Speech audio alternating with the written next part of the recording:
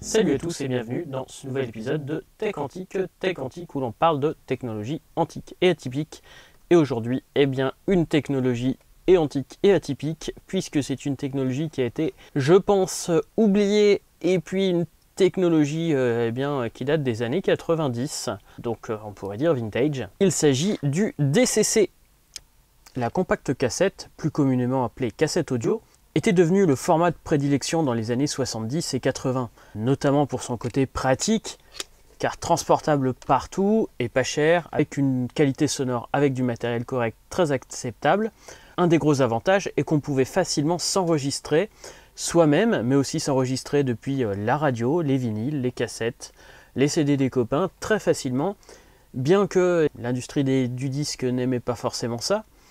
D'un autre côté, le CD, sorti quelques années plus tôt, rend notre bonne vieille cassette bien ringarde en regard de la qualité de son qu'on pouvait sortir sur le CD et qui n'avait pas euh, ces défauts de One Flutter, etc.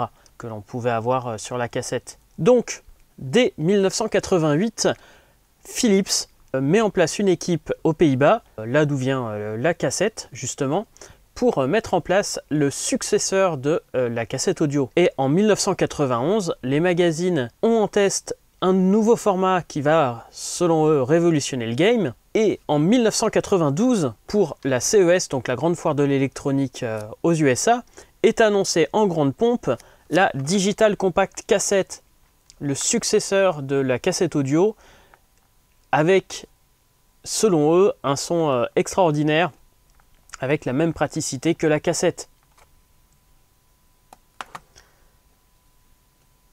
Malheureusement, mais dans la salle d'à côté, l'autre inventeur du CD, Sony, eh bien, présente aussi son successeur de la cassette, le mini-disque.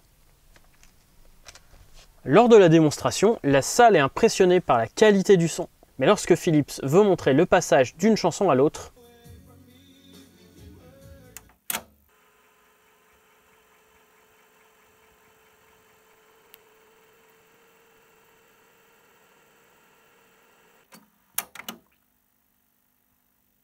démo du saut de piste, euh, sachant que Sony venait de faire son démonstration du mini-disque.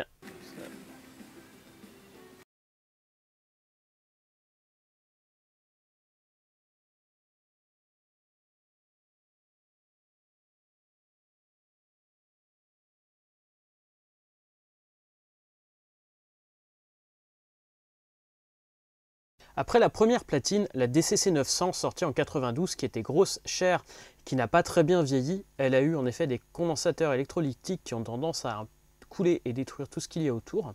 Il y a eu une deuxième génération avec plusieurs lecteurs de format de platine, dont une pour les chaînes MIDI de Philips que, j'ai ici.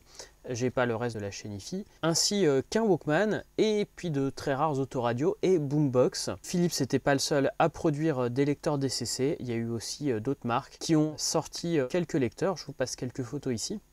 Mais bon, c'était quand même Philips qui a lancé le format. Et puis il y avait toute une collection de cassettes préenregistrées, mais aussi eh une collection de cassettes vierges euh, donc principalement faite par Philips, mais il y avait aussi d'autres marques. Euh, ici j'ai Scotch, il y avait Fuji qui en avait une euh, qui était plutôt jolie, qui change du design des autres. Il y avait quand même quelques marques qui avaient parié sur le format. Philips n'était pas tout seul et il pensait vraiment que ça allait fonctionner. Donc à quoi ça ressemble? J'ai ici deux platines. Une donc format compact pour les mini chaînes et une de format taille IFI standard. Mais en fait, sur les deux platines que j'ai ici, à part euh, la télécommande qui est en plus sur euh, la grosse, elles sont quasiment identiques. D'ailleurs, ça se voit à l'intérieur, il y a pas mal plus d'espace euh, dans la grosse que dans la petite. La plupart des composants sont interchangeables entre elles. Il y a eu aussi une troisième, puis une quatrième génération qui rajoute quelques petits trucs au fur et à mesure, mais pas de grosses différences fondamentales. Les platines sont capables donc de lire des cassettes à l'ancienne, mais pas de les enregistrer. Et donc bien sûr en utilisation standard pour les DCC. Ça fonctionne en fait euh, avec euh, un tiroir comme les lecteurs de CD. Donc on met euh, notre cassette ou notre DCC dans le tiroir, on l'insère et c'est parti. Les courroies et certains engrenages ont tendance à vieillir, donc quelquefois sur les miennes, il faut que je l'aide un petit peu. Bon, rien de bien grave. Si la courroie est complètement HS, là il faut la changer puisque là elle est plus capable en fait euh, de faire monter euh, le mécanisme, ce qui m'est arrivé sur, sur les miennes. Et là à ce moment-là elle est plus capable de lire le DCC. Mais quelquefois c'est juste un souci de courroie. Donc rien de bien grave si c'est juste ça. Donc on a un fonctionnement qui est assez typique des magnétophones euh, cassettes, voire euh, des lecteurs CD, un écran assez imposant pour pouvoir afficher des titres, des touches Dolby, cette fois-ci que pour les cassettes euh, analogiques, un réglage de niveau pour pouvoir enregistrer depuis une source analogique, mais le mieux pour enregistrer avec un minimum de pertes, c'est bien sûr d'enregistrer au format numérique et sur les platines, donc sur les plus anciennes, on a une entrée numérique format RCA. Sur les plus modernes, on a directement une entrée optique. Donc là, ne cherchez pas d'USB comme sur les platines mini-disques récentes. L'USB n'avait pas encore été inventé à l'époque du DCC. Donc à l'époque, en plus des titres, et c'était le cas sur les prototypes, ils avaient prévu de pouvoir enregistrer les paroles et d'autres informations complémentaires euh, sur euh, la cassette, donc comme je vous ai dit, sur la piste de données supplémentaires. Et donc les prototypes avaient directement une sortie Péritel pour pouvoir récupérer ça. Et ensuite, eh bien, ça a quasiment disparu, mais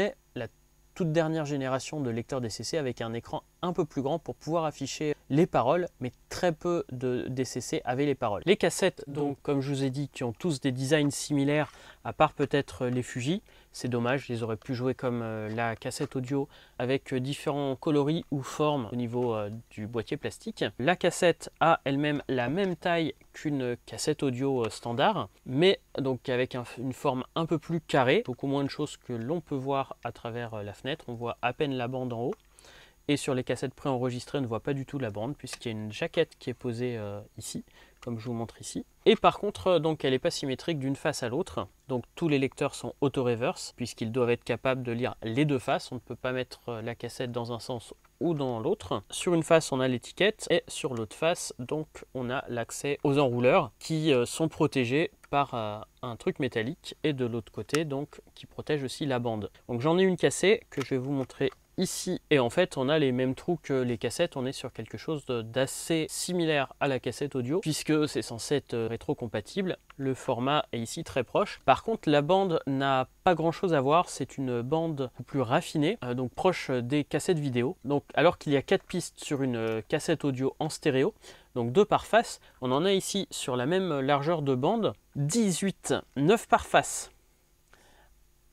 Donc dessus, on peut enregistrer, ça fait un total de 784 kilobits de données. Il n'y a pas 784 kilobits qui sont utilisés. En fait, donc déjà, il y a une des pistes qui est utilisée pour les métadonnées, donc euh, les titres, etc. Et donc il en reste 8 pour la musique. Sur ces 8 pour la musique, elles sont enregistrées avec tout un système qui va permettre de retrouver la musique si sur 1 euh, mm et demi la bande est complètement HS. Euh, donc pour pouvoir euh, restaurer donc une partie de la bande si elle est abîmée. Ce qui fait qu'au final, on va avoir un débit de seulement 384 kilobits de données, ce qui fait un peu moins d'un quart du CD. C'est pas si mal non plus. Le mini disque, c'était une fois et demi moins. Pour compresser, donc pour avoir un quart du CD, il va falloir retirer des informations puisque ici on a toujours du 44 kHz 16 bits, voire même apparemment il a été prévu dans la norme du 32 ou du 48. Donc pour pouvoir enregistrer tout ça sur seulement 384 kilobits de données, il faut compresser. Et pour cela, eh bien Philips utilise le pass qui va tenter en fait de n'enregistrer que ce que peut percevoir l'oreille humaine. Donc il va réduire l'enregistrement de certaines fréquences pour pouvoir avoir euh, quelque chose qui selon le discours euh, commercial, est imperceptible entre la source et la cible. D'ailleurs, sur certains prototypes, on avait un interrupteur pour pouvoir passer de l'un à l'autre. Alors, c'est sûr que dans une boutique avec le bruit qu'il y avait, je pense que vu la qualité des CC, on ne devait pas pouvoir euh, percevoir cette différence. Après, je pense qu'au casque, ça s'entend. Alors, ça vient peut-être des DAC, mais j'ai l'impression d'une légère, si je compare par rapport à la source, d'une légère perte. Ici, ça servira à rien que je vous fasse avant-après, puisqu'en fait, ça va être recompressé par YouTube et encore plus que ce que compresse déjà le PASC. Donc la comparaison ici n'aurait pas de sens. Mais le PASC justement, eh bien c'est tout simplement un dérivé du MPEG Layer 1 qui est l'ancêtre du MPEG Layer 3. Et le MPEG 1 Layer 3, eh bien on l'a renommé en MP3. Et oui, le PASC était tout simplement l'algorithme qui a été créé par Fraunhofer et Philips, utilisé notamment dans le DCC, mais qui a continué à évoluer et qui ensuite euh, est devenu le format audio de prédilection. Il y avait aussi un petit bit de sécurité qui était enregistré pour une protection à la copie de façon à ce que si ce bit était présent, donc si on enregistrait depuis une source numérique, on ne devait normalement pas pouvoir refaire une copie de cette source. Bien sûr, euh, les majors de disques avaient particulièrement peur qu'on fasse euh, plusieurs copies identiques numériques puisque là, ben, il n'y avait pas de perte entre, entre copies de cassettes. La tête de lecture est toute particulière. D'un côté, elle a les 9 pistes pour euh, le DCC et de l'autre les deux pour la cassette. Cette tête est particulièrement fragile donc faut surtout pas tenter de la démagnétiser et il faut faire très attention quand on la nettoie. D'ailleurs il vaut mieux démonter et passer de l'alcool isopropylique que passer des cassettes de nettoyage bien abrasives qui pourraient détruire cette tête.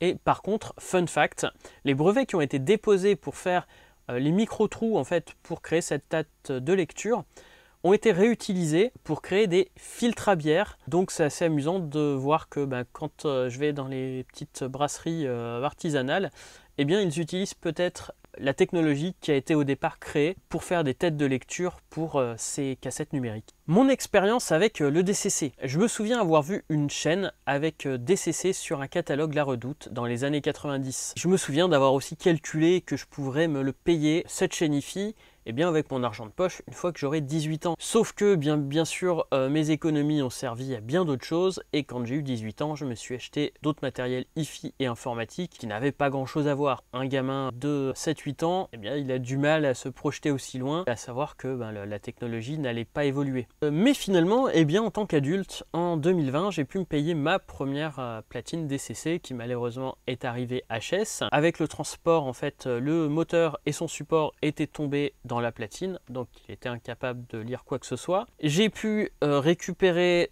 une autre platine pour pièce pour remonter la platine, mais là j'ai eu des problèmes de nouveau avec les engrenages. Enfin, j'ai eu un tas de soucis avec ces platines qui fait qu'au final euh, j'ai dû en acheter 4 pour pièce pour pouvoir m'en faire deux fonctionnels, euh, en sachant que la deuxième platine euh, n'arrive pas à détecter les cassettes audio standard, mais bon, rien de très grave, j'ai ce qu'il faut en platine de cassette audio. D'ailleurs, eh bien, en lecture de cassette audio, ce sont des bonnes platines, mais elles n'enregistrent pas et on a aussi bien, voire mieux, avec notamment les pionniers qui sont sortis quelques années plus tard. Par contre, eh bien, en lecture DCC, à part les gros problèmes de fiabilité de la première génération, ensuite, donc dans la deuxième génération avec les engrenages qui cassent, les troisième et quatrième générations sont excessivement plus rares, ça reste que la qualité de son est quand même euh, superbe. J'aurais vraiment aimé avoir ça à l'époque. Euh, par contre, les cassettes préenregistrées n'ont jamais fait beaucoup de succès. J'en ai une ici à vous montrer euh, donc sur la caméra. le son est, quand même bon, a été enregistré très correctement, je suppose, depuis la source numérique du CD ou du DAT. Et donc, je peux vous faire une démonstration de la DCC en fonctionnement.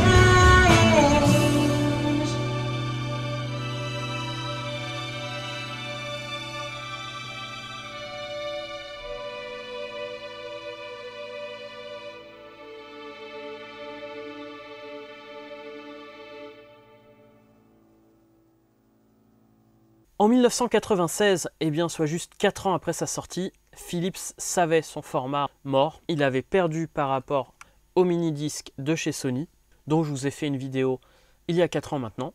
Donc ils ont déjà arrêté la recherche et développement dessus et puis progressivement arrêté euh, la fabrication de platines et de cassettes. On en a trouvé jusqu'en 2000, euh, mais ensuite eh bien, euh, ce format a disparu complètement de la circulation si on ne cherche pas parti. C'est quand même rare de trouver des platines en ressourcerie ou autre. J'ai eu la chance de trouver 20 cassettes neuves en ressourcerie. Euh, mais donc ce format n'a jamais fait de gros succès et la cassette audio en fait a continué en parallèle du CD jusqu'au début des années 2000 où là la cassette audio a disparu et le DCC avait disparu depuis bien longtemps. Donc Sony a gagné la guerre sur ces formats-là enregistrables qui n'a duré qu'un temps limité puisque très rapidement le dématérialisé a pris le dessus. J'ai ici, euh, je n'ai que deux platines, je n'ai pas de Walkman comme j'avais sur les mini-disques ou d'autres formats puisqu'ils sont particulièrement fragiles. Pareil, les boombox, euh, je ne sais pas trop s'il euh, y en a eu de vendus en Europe. La plupart des modèles qu'on trouve, c'est des modèles japonais. Et ça reste très rare au Japon aussi. Il y a eu un Walkman qui permettait aussi euh, eh bien d'enregistrer les titres et tout ça en le branchant sur un port série avec un ordinateur et qui permettait aussi d'enregistrer de façon numérique, donc en port série, ce qui fait que pour enregistrer un titre, il fallait apparemment 4 euh, heures pour 4 minutes euh, de musique. C'était absolument énorme. les machines étaient euh, particulièrement lentes à l'époque, le port série aussi, mais quand même, il y avait plein de trucs qui n'étaient pas optimisés. Il y en a quand même qui travaillent toujours sur les DCC. Il n'y a plus de DCC fabriqués maintenant. Par contre, il reste un petit stock. Et ce qui fait que Musée du DCC sort tous les ans un DCC préenregistré un album préenregistré en DCC avec souvent un design vraiment sympa, surtout qu'on n'avait pas les technologies d'impression euh, qu'on a maintenant. La cassette DCC en elle-même est quand même plus fragile que la cassette audio. Euh, j'ai des soucis avec des cassettes neuves qui ont mal été conservées, euh, mal vieillies, dommage. Et puis les Walkman, comme je vous ai dit, j'en ai pas parce qu'ils étaient aussi particulièrement fragiles. C'est un format que je regrette un peu de ne pas avoir utilisé à l'époque où il existait, que j'aurais bien aimé voir évoluer aussi, voir euh, super type de euh, cassette, surtout avec la, technologie qu'on a maintenant. Mais voilà, tous les formats ne peuvent pas gagner la guerre, et donc malheureusement, eh bien, ce format reste un format euh, oublié des années 90, mais un format qui m'a fait rêver à l'époque en tant que gamin et dont je suis contente de vous en faire la présentation aujourd'hui. Voilà, j'espère que cette vidéo vous aura intéressé sur ce petit format inconnu. Et sur ce, on se donne rendez-vous très bientôt sur une nouvelle vidéo. Soyez authentiques et atypiques et à très bientôt.